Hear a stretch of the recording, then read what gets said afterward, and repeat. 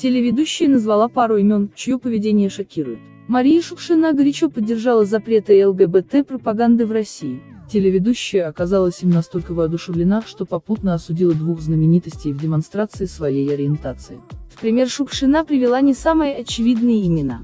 В своем посте о поддержке запрета гей-пропаганды телеведущая вспомнила Филиппа Киркорова и Давида Манукяна.